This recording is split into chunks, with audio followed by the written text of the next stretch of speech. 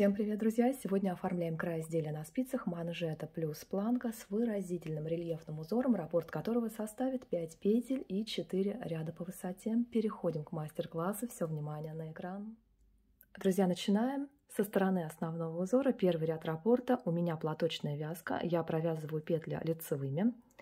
Подошла к участку планки. Раппорт планки озвучиваю. Две лицевые петли, одна изнаночная, одна лицевая и одна изнаночная. Все просто. Второй ряд раппорта у нас начнется со стороны планки. Петли симметрии я уже провязала. Три лицевые петли. Два, три и две изнаночные. Три лицевые, две изнаночные. Третий ряд раппорта, так же как и первый, начинается у нас со стороны планки платочная вязка, петли провязываю лицевыми и основной раппорт.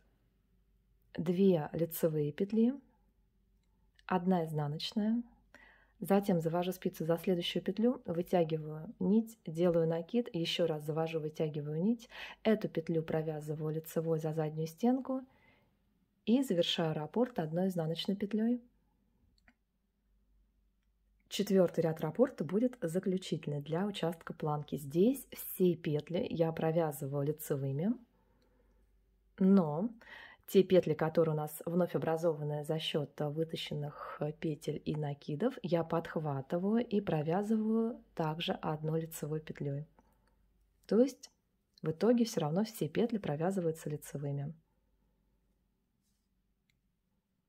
Друзья, на этом мастер-класс завершен. Обязательно сохраняйте ролик в своей копилке. От вас, конечно же, жду лайки и позитивные комментарии. В свою очередь, желаю всем отличного настроения. Скоро увидимся.